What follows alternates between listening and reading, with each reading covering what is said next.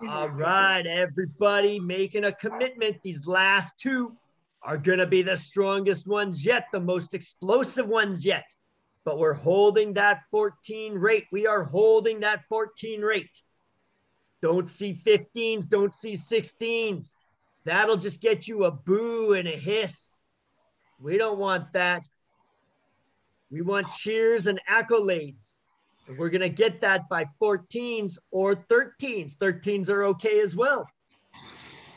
Pushing it on, sitting tall, staying strong. Two, one, and down. That's about 10. Nice job. Nice job.